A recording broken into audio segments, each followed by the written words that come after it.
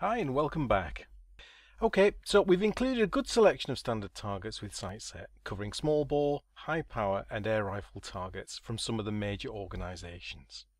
If you're one of the lucky ones that only uses these standard targets that we've included, you can stop right here and skip to the next tutorial. But we all know that not everyone publishes their target dimensions, and if your club's like mine, they might not even use standard targets. So in this video we're going to cover what to do if SightSet doesn't have the targets that you use. Well it would be a bit of a pointless purchase unless of course we gave you the facility to create your own targets. But before we get your hopes up, you can't have rampaging soldiers, raging wildebeest or rainbow patterns. It's got to be quite simple. It's strictly circles and monochrome only. But since most targets like that anyway, it's not actually as limiting as it seems. Enough talk, let's get started. First of all, we make sure that we've got the target window open.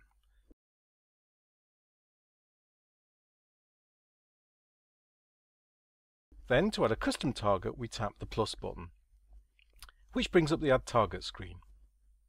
In the top half there is a little graphic to explain the terminology that we're going to use. It also contains a control to allow us to set whether we're going to create a target with measurements in inches or centimetres. We'll leave it at inches for this target. Below this is a scrolling region that contains five fields. Target name, target width, ring width and score, zone widths, and finally description. There are dependencies between these fields, so SightSet guides you through the process to reduce the scope for making mistakes. Okay, so let's start with the name. To avoid confusion, the name has to be unique. For this exercise, I'm going to define the small bore indoor practice target that I use at my club. So, a nice easy name. And now that we've defined the name, the target width is active, so we can tap on that to bring up the target width field. Even though this is a 10 inch target, we specify the width a little larger so we have some border area around the target, so say 10.5 inches. This now enables both the scoring rings and zones fields. Tapping on the ring width and score field brings up the add ring window. The first row specifies the diameter of the ring that we wish to add. The outer ring diameter is 10 inches, so we'll fill that in. The next section determines the colour of the ring, black, white or grey. In this case it's black. The score label section allows us to add the score for this ring. To the right are four greyed out direction arrows. These are used to determine the axes that the labels will be drawn on. Well, I bet that wasn't what you were expecting. For a start, the score label is stuck in the middle of nowhere. But don't worry, it will all come good. The next thing to know is that two controls have appeared, a plus and a minus button.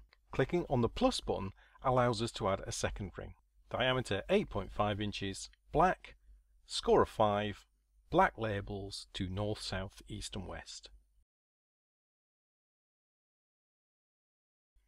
Tap on done and that immediately looks better. The 4 label has now been repositioned to be midway between the 4 and 5 rings. We add a new row, select it and add a new ring. And so we keep adding rings.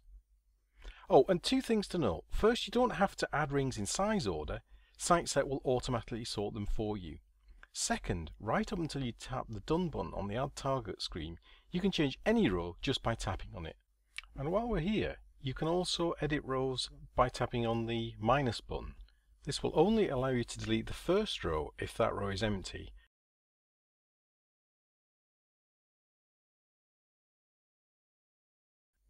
Now we just need to do the same thing for the zones, and like most targets, this one has two.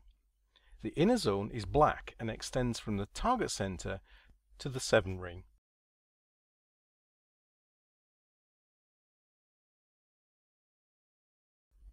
And now we're looking more like a target. Exactly as with the scoring rings, as soon as we've added the first zone, plus and minus controls appear to allow us to add a new zone or remove an existing one. Then we just need a description to help us pick this target when we need it.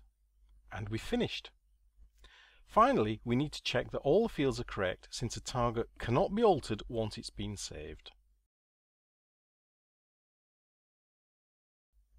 Tap Done, and there's our new target added to the custom section.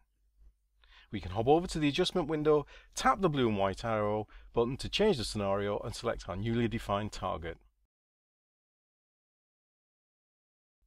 And there it is in all its glory. that brings the tutorial to a close. We've covered how to create your own targets and with a bit of practice you can add a new one in a couple of minutes. The next tutorial is the last of the core tutorials. It's going to cover how to add your own sights.